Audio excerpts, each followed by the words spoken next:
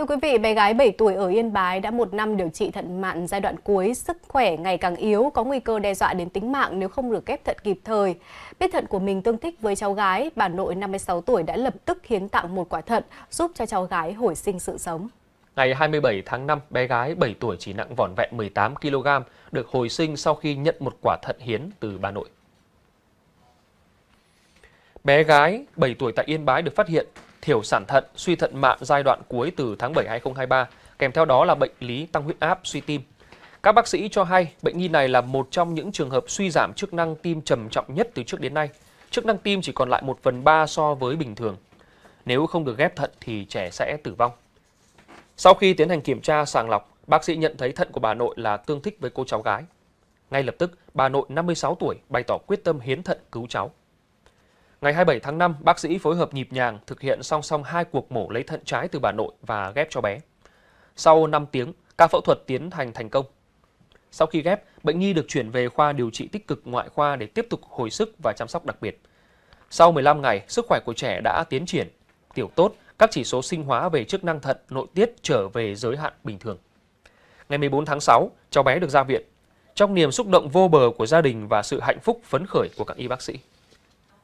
Được biết, gia đình bệnh nhi có hoàn cảnh khó khăn. Trong hơn một năm trời nằm điều trị tại khoa thận và lọc máu, Bệnh viện Nhi Trung ương vì căn bệnh suy thận mạn giai đoạn cuối, bệnh nhi đã trải qua nhiều lần cấp cứu, cơ hội sống rất mong manh.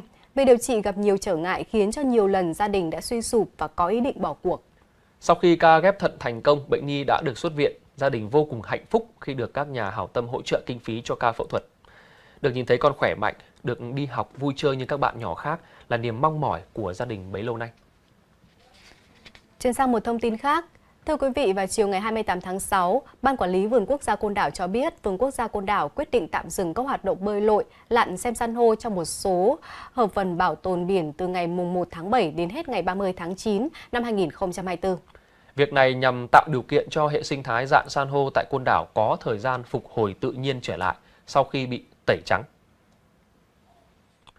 Theo đó, Ban Quản lý Vườn Quốc gia Côn Đảo quyết định tạm dừng hoạt động bơi lội, lặn xem san hô tại các địa điểm như là Vịnh Côn Sơn, trừ vùng đệm, hòn trác lớn, hòn trác nhỏ, hòn tài, hòn thỏ, hòn bông lan, hòn bảy cạnh, hòn cao, mũi tàu bể, đầm tre, hòn trứng, bãi ông cường, bãi sạn, bãi đất thắm, bãi bàn, ông đụng, ông câu, hòn tre nhỏ, hòn tre lớn, đầm quốc, hòn bà và hòn vung. Các địa điểm còn lại như bãi rông, hòn bảy cạnh, bãi cát lớn, hòn cao, bãi trước, trạm kiểm lâm hòn tre lớn được hoạt động bơi lội, lặn xem san hô phục vụ du lịch bình thường. Tại những địa điểm này, Ban Quản lý Vườn Quốc gia Côn Đảo có gắn phao neo và cờ hiệu để cho phương tiện du lịch neo đậu khi tổ chức cho khách tham quan bơi lội, lặn xem san hô. Lưu ý tuyệt đối không thả neo trên dạng san hô trong quá trình tổ chức cho khách tham quan bơi lội, lặn xem. Hạt Kiểm lâm Vườn Quốc gia Côn Đảo sẽ tổ chức lực lượng tuần tra, kiểm tra hướng dẫn và xử lý vi phạm khi các phương tiện vi phạm các quy định hiện hành về vùng bảo vệ vùng dạng.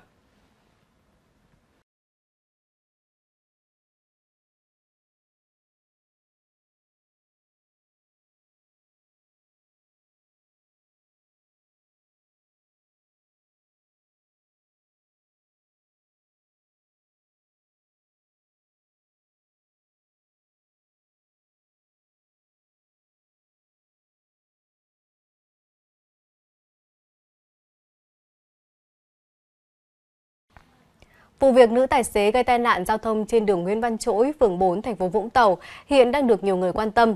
Cơ quan cảnh sát điều tra công an thành phố Vũng Tàu đã ra quyết định khởi tố vụ án, khởi tố bị can, bắt tạm giam 3 tháng đối với nữ tài xế Trần Thị Thu Thanh để điều tra về tội vi phạm các quy định về tham gia giao thông đường bộ. Và trong vụ nữ tài xế tại Vũng Tàu lái ô tô trong tình trạng có nồng độ cồn kịch khung gây tai nạn liên hoàn khiến hai người tử vong, dư luận quan tâm là người giao xe có liên lụy hay không. Đây là vụ việc khiến dư luận rất quan tâm vì nữ tài xế không có bằng lái, điều khiển xe của người khác và có nồng độ cồn vượt ngưỡng cho phép, kịch khung xử phạt hành chính. Đáng nói hơn, vụ tai nạn đã khiến hai mẹ con chết tại chỗ, nhiều người bị thương, trong đó ba người bị thương nặng đang được điều trị. Trong vụ tai nạn này, các phương tiện hư hỏng sẽ được lực lượng chức năng tiến hành định giá thiệt hại. Nếu kết quả định giá từ 1,5 tỷ đồng thì nữ tài xế đã thỏa mãn dấu hiệu phạm tội theo điểm D khoản 3, điều 260 Bộ luật hình sự, gây thiệt hại về tài sản từ 1,5 tỷ đồng. Ô tô gây tai nạn do bà Thanh điều khiển không phải xe của bà. Trong trường hợp này, lực lượng chức năng sẽ làm rõ có hay không dấu hiệu phạm tội theo Điều 264 Bộ Luật Hình sự về tội giao cho người không đủ điều kiện điều khiển các phương tiện tham gia giao thông đường bộ của chủ sở hữu xe. Mức hình phạt ở tội này nhẹ nhất là phạt tiền 10 triệu, nặng nhất là phạt tù 7 năm. Thưa quý vị, ngày 29 tháng 6, mạng xã hội lan truyền clip ghi lại cảnh xe buýt hai tầng vượt đèn đỏ tại giao lộ đông đúc người qua lại ngay ở trung tâm thành phố Hồ Chí Minh. Đoạn clip được camera hành trình ô tô đi phía sau ghi lại và vụ việc khiến nhiều người đi đường rất bức xúc và nhận được nhiều ý kiến bình luận và lượt chia sẻ. Theo đoạn clip thể hiện vào 13 giờ 29 phút ngày 28 tháng 6, xe buýt 2 tầng đang chạy trên đường Trần Hưng Đạo, hướng từ đường Nguyễn Thái Học đi đường Nguyễn Huệ. Khi đến giao lộ với đường Hàm Nghi, phường Bến Thành, quận Nhất, lái xe cho xe rẽ phải vào đường Hàm Nghi. Tuy nhiên, camera hành trình của một ô tô đi phía sau ghi lại tình huống xe buýt này vượt đèn đỏ. Thời điểm này giao lộ có nhiều người qua lại. Liên quan đến clip này, đại diện Trung tâm Quản lý Giao thông Công cộng thành phố Hồ Chí Minh cho biết đã giả soát kiểm tra camera về hành vi vi phạm để có hướng xử lý. Trong tuần tới, đơn vị mời tất cả doanh nghiệp, hợp tác xã xe buýt họp để yêu cầu tăng cường giám sát, chấp hành pháp luật, đảm bảo trật tự an toàn giao thông.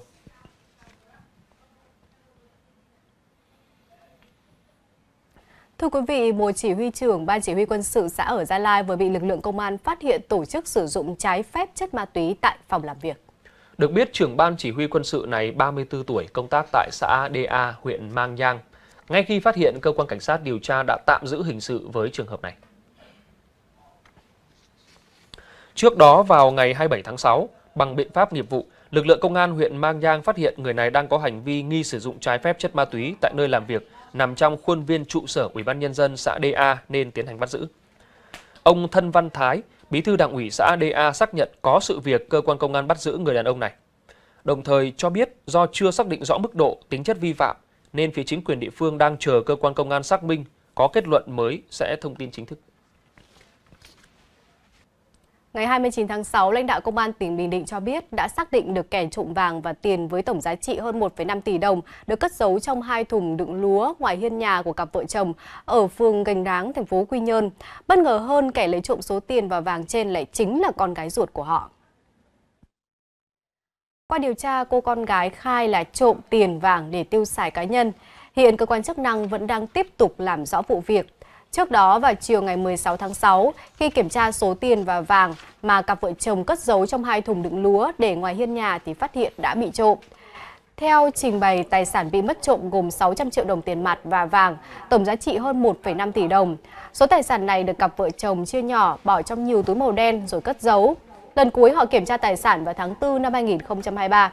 Từ đó cho đến nay, vợ chồng họ không kiểm tra lại nên chưa xác định được thời điểm bị mất trộm. Hiện trường vụ trộm cho thấy số tiền và vàng được cất giấu ngoài hiên nhà không có khóa. Hiện cơ quan cảnh sát điều tra vẫn đang tiếp tục làm rõ vụ việc.